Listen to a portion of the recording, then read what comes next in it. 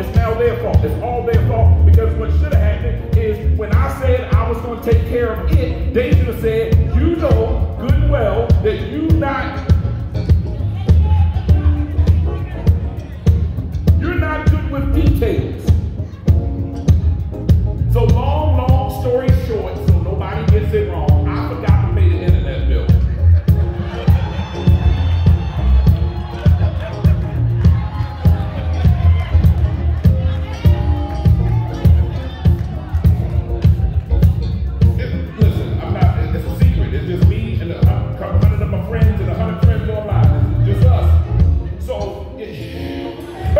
ain't never did it before.